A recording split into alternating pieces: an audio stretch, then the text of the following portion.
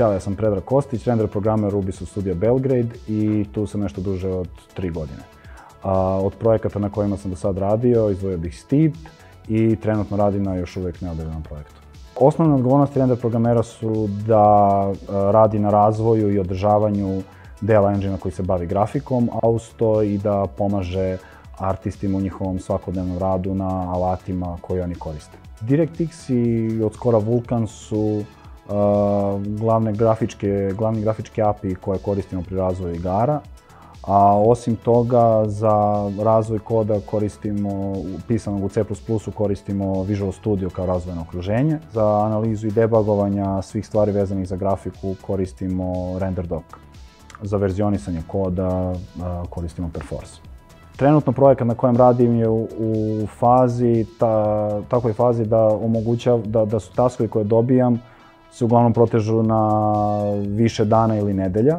Tako da se pre može reći da, da postoje neke tri faze gdje dobijete neki task, analizirate moguća rješenja, uradite neku početnu implementaciju i nakon toga se bavite testiranjem toga što ste uradili i obratite pažnju na performansu ukoliko je task koji ste dobili bio mogao na neki način da utiče na, na, na same performanse. Meni se čini kao najinteresantnije to što se spajaju oblasti kao što su matematika, programiranje, poznavanje hardvera u jednu jedinstvenu celinu, tako da e, sa svakim novim taskom u principu dobijate da radite na nečemu što stavlja akcent na neku od ove tri oblasti.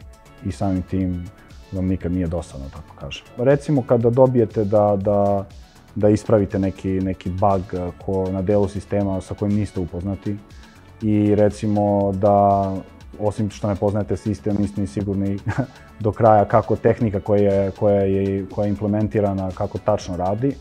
Tako da u tom trenutku uglavnom e, posežete za onako školskim načinom rješavanja problema, krećete od toga šta ima dostup, od toga šta je dostupno na internetu vezano za tu tehniku, onda posle toga vidite koliko se to razlikuje u odnosu na tehniku koja je implementirana kod nas. Ako vam treba još dodatne pomoći, uvek su tu neke starije kolege koje su ili iz Beogradskog studija ili iz drugih Ubisoftovih studija koji su se možda ranije susreli sa, sa tim problemom ili bagom da vam, da vam pomognu i da vas upute.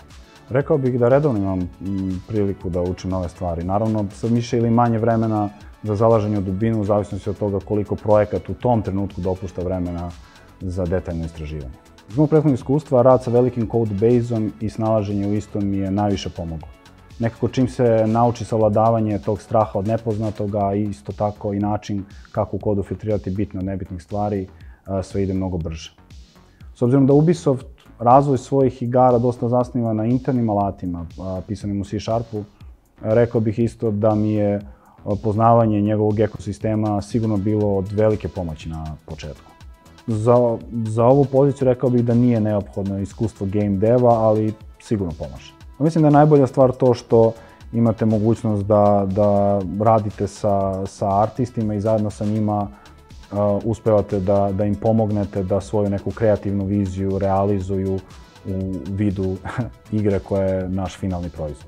Kao sličnost sa uh, drugim industrijama naveo bih uh, ozbiljnost sa kojom se pristupa razvoju softvera kao i da sva iskustva vezana za dizajniranje softvera stečeno u drugim industrijama važi u game devu.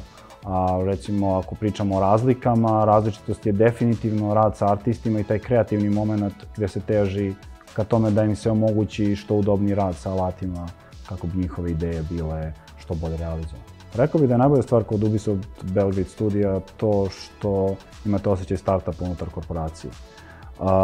osim toga, dostupnost koda većine Ubisoftovih igara, a ne samo ona na kojoj radite, je velika prednost. Što se tiče atmosfere unutar studija, opšta pozitivnost, kako za stvari što se tiču posla, tako i pri običnoj komunikaciji i druženju je nešto što svakako prija.